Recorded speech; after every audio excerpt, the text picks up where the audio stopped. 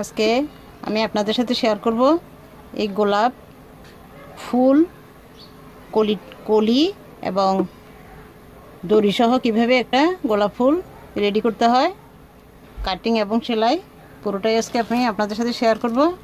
এই দেখুন, কত সুন্দর চমৎকার একটা ফুল। এটা বেবিদের জামাতে বা বড়দের জামাতে লাগালে জামাটা অনেক আকর্ষণীয় হয়ে উঠবে। এই ফুলটা কীভাবে আমি কাটিং এবং সেলাই আপনাদের সাথে শেয়ার করছি, দেখুন। কীভাবে গোলাপ কলির পাপড়িগুলো তৈরি করতে হয়, তাই আমি শেয়ার করছি। এখানে আমি দুই কালারের কাপড় নিয়েছি। এই কাপড়টার মাপটা দেখিয়ে দিচ্ছি। এটা চার ইঞ্চি স্কোয়ার চার ইঞ্চি কাপড়টা। আর ছোট কাপড়টা নিয়েছি, তিন ইঞ্চি করে স্কোয়ার এটা তিন ইঞ্চি তিন ইঞ্চি, আর এটা চার ইঞ্চি চার ইঞ্চি। তো দেখুন আমি কীভাবে করছি। কাপড়টাকে আমি এভাবে ত্রিভুজ আকৃতি করে এভাবে ভাঁজ দিয়ে নিব। এই ভাঁজের পরে এইভাবে আরেকটা ভাঁজ দিয়ে নিব। দেখুন, ভাঁজ দিয়ে আমি শুয়ে সুতা পরিয়ে নিলাম। শুয়ে নিয়ে নিছি। এখন আমি এটাকে এভাবে কাতা স্টিচ দিয়ে সেলাই করে নিব।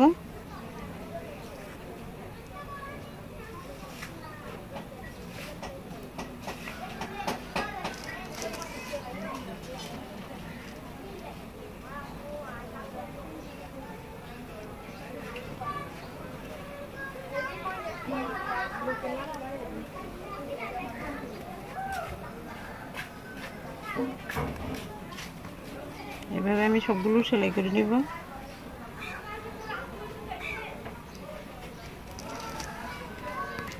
দেখুন এখানে ছয়টা পাপড়ি নিয়েছি আমি।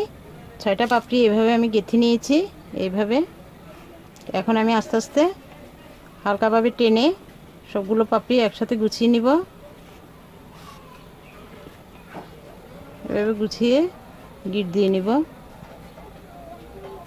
হালকা হাতে জোরে টান দিলে হয়তো ছিঁড়ে যাবে। যাতে ছিঁড়ে না যায় লুজ ফিটিং রেখেই আমি পাপড়িটা এভাবে গিট দিয়ে নিব, যতটুকু টানা যায়।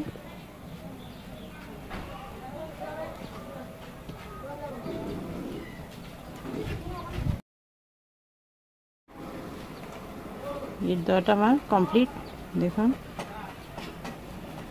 দুটো সাইডে।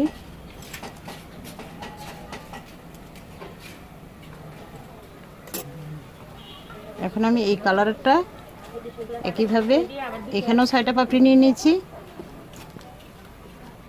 আমি এটাও এভাবে সেলাই করে নিব, সেমভাবে। এই ফুলটা এরকম একটা ফুল দিয়ে বাচ্চাদের বা বড়দেরও জামাতে বা ব্লাউজে অনেক সুন্দর ডিজাইন করা যায়।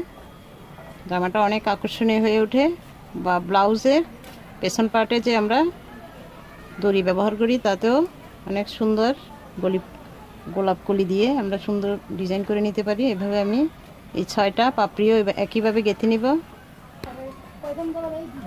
একইভাবে আমি এই ছয়টা পাপড়িও গেঁথে নিয়েছি, দেখুন।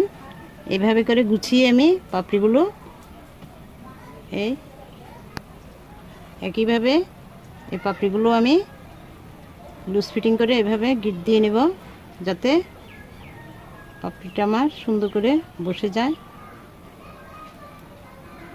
হাতে এভাবে টেনে টেনে ঠিক করে দিতে হবে। অতটা টান দিতে যাবে না। মোটামুটি লুজ ফিটিং রেখে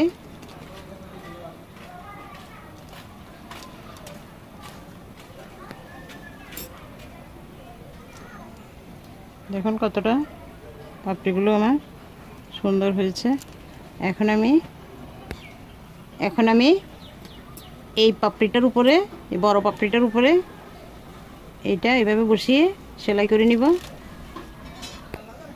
একটা ফ্লাওয়ারের উপর আরেকটা ফ্লাওয়ার বসিয়ে আমি এভাবে এই পাপড়িটি যাতে এটার মাঝামাঝি থাকে এভাবে বসিয়ে নিয়ে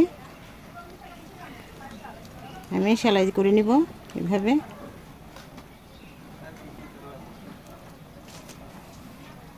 সাথে জয়েন দিয়ে নিব।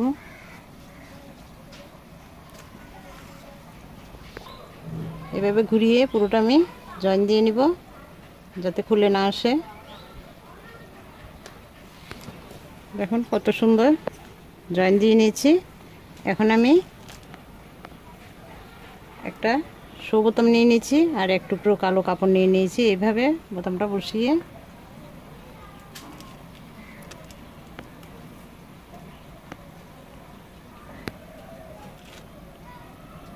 বিভিন্ন ডিজাইনের শো বোতামের ভিডিও আমার চ্যানেলে দেওয়া আছে। আপনারা দরকার হলে দেখে আসতে পারেন। আর আজকে আমি এটা এভাবেই শো বোতামটা বানিয়ে নিলাম। এখন আমি এই শো বোতামটা এই ফুলটার মিডিলে এভাবে লাগিয়ে নিব। এভাবে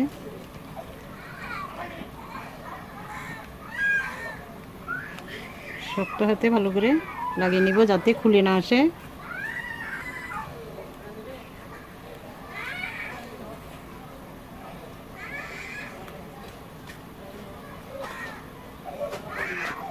ঘুরিয়ে ঘুরিয়ে চারটা পাশেই আমি লাগিয়ে নিব।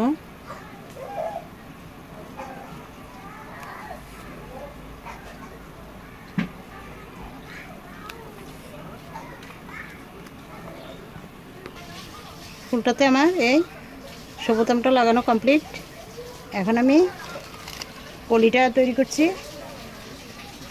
ফুলের কলিটা তৈরি করার জন্য আমি এখানে লম্বা দেড় ইঞ্চি একটা কাপড় আর আর এভাবে কেটে নিয়েছি, এই দেখুন। আর এখানে কলিটার জন্য আমি চার ইঞ্চি করে আর একটা কাপড় কেটে নিয়েছি, চার ইঞ্চি স্কোয়ার এটা দিয়ে আমি কলি বানাবো। এই চার ইঞ্চি স্কোয়ার করে কেটে নিয়েছি। এখন আমি দড়িটা রেডি করছি। আমি এতটুকু লম্বা নিয়েছি। আপনাদের যার যতটুকু লম্বা দরকার ততটুকুই করে কাপড়টা কেটে নেবেন। আমি এখানে দড়িটা সেলাই করে নিচ্ছি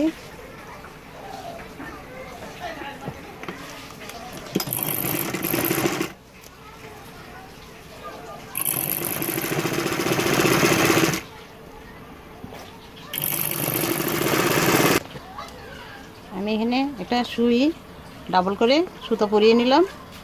এখন এই সাইডটাতে এভাবে একটু সেলাই করে নিচ্ছি, সুতোটা জয়েন দিয়ে নিচ্ছি। এখন আমি নিডলের যে পেছন সাইডটা এভাবে ঢুকিয়ে নিব।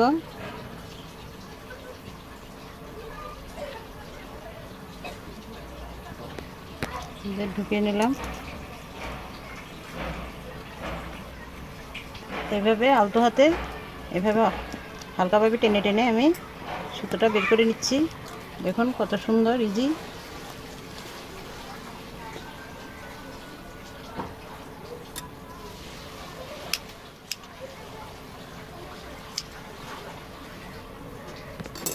দড়িটা রেডি আমি এই কাপড়টাকে এভাবে ভাঁজ করে, খেয়াল করে দেখুন। এটা হাতেও সেলাই করে নেওয়া যেত। আমি মেশিনে করে নিচ্ছি। এভাবে একটু টেকসইয়ের জন্য শক্ত হবে। তাই আমি এখানে একটু ডাবল সেলাই দিয়ে দড়িটা এই কোনাকুনি একটু সেলাই করে নিলাম। এখন আমি দেখুন ভাঁজটা এইভাবে এই সাইডটাতে আমি খোলা কমই রাখব, অতটা বেশি রাখব না। এই দেখুন, এইভাবে এই আমি ভাঁজটা করে নিলাম। আর এখন আমি আবারও এই সুইয়ের সাহায্যে এভাবে সেলাই করে নিচ্ছি।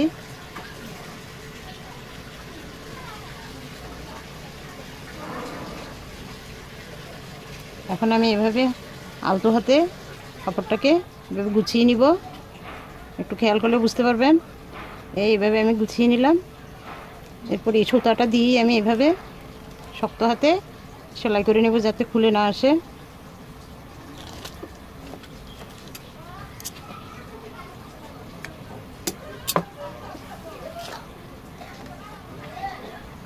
আমি এভাবে উল্টিয়ে নিব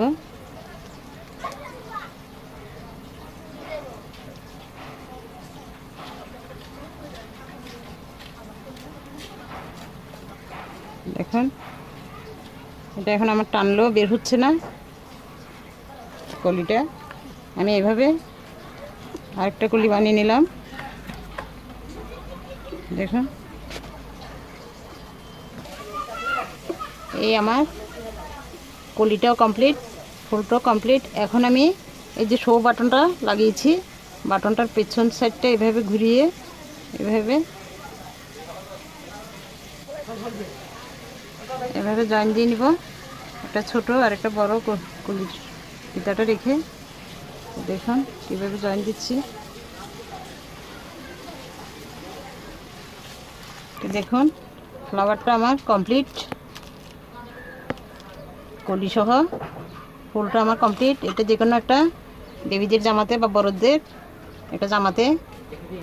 এটা লাগালে জামাটা অনেক আকর্ষণীয় আকর্ষণীয় হয়ে উঠবে। কলিটা আমি একটু ছোট একটা একটা বড় রেখেছি। কলিটা দেখুন পারফেক্ট কত সুন্দর। যদি এই গোলাপ কলির